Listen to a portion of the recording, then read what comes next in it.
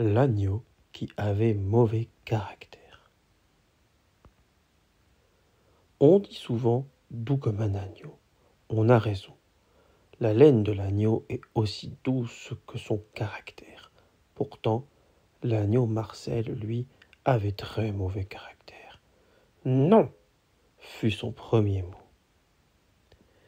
Dès le premier soir, Marcel refusa de dormir parmi ses frères et ses sœurs. Je dormirai là, seul, tranquille.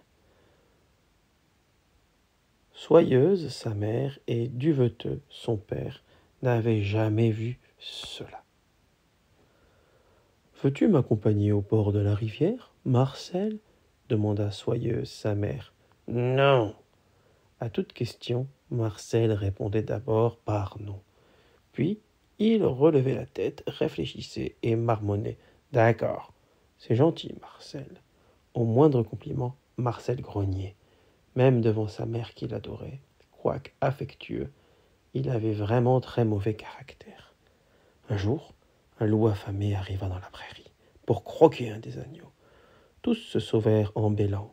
Oh loup Marcel, lui, haussa les épaules et demeura au milieu des herbes, absorbé par son repas.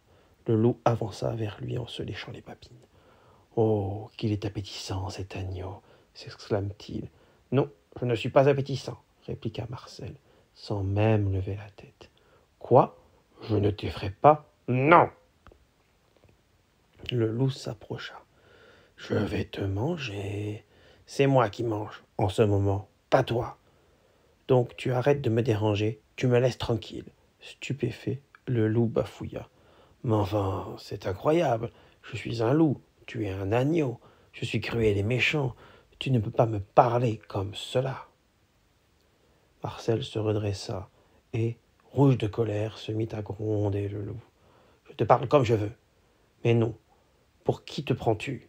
Fiche-moi le camp. Tu n'es pas chez toi ici, tu es chez nous.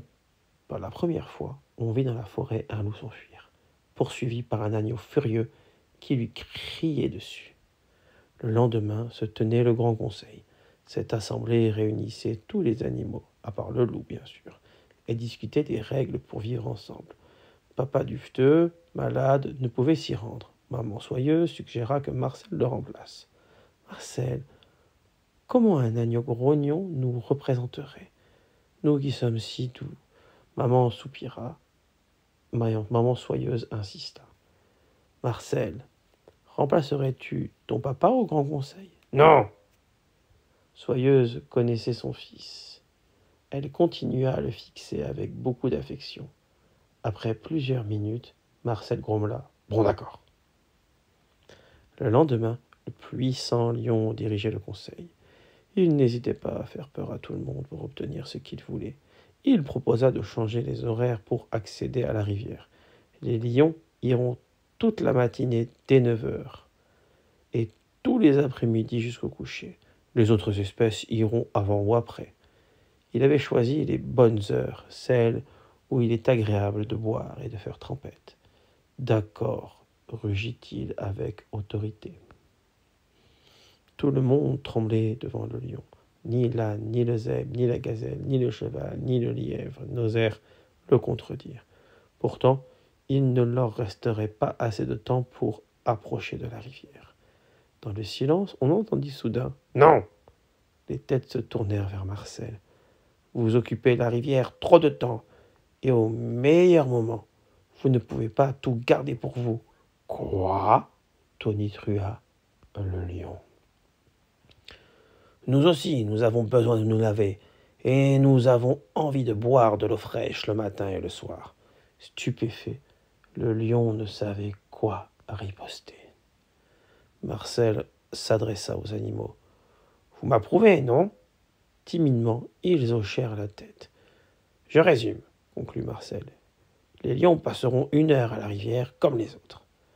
Devant le tonnerre d'applaudissements, le lion n'ajouta rien du tout. Tous les animaux, sauf le lion, raccompagnèrent Marcel jusqu'à lui jusqu'à chez lui en le remerciant et en le félicitant. Lorsqu'ils rencontrèrent ses parents, ils leur racontèrent leur victoire contre le lion. Très fière, Soyeuse se pencha vers Marcel. Finalement, ton caractère nous rend bien un service. Quoi, mon caractère? Quel caractère?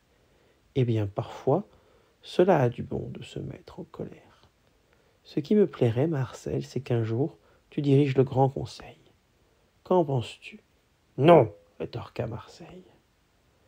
Bien sûr, vous ne serez pas surpris d'apprendre que quelques années plus tard, Marcel était devenu le président du Grand Conseil des animaux. Oh, il grognait toujours un peu, mais il choisissait ses colères et les limitait aux situations injustes. Et il devint ainsi le président le plus respecté des animaux.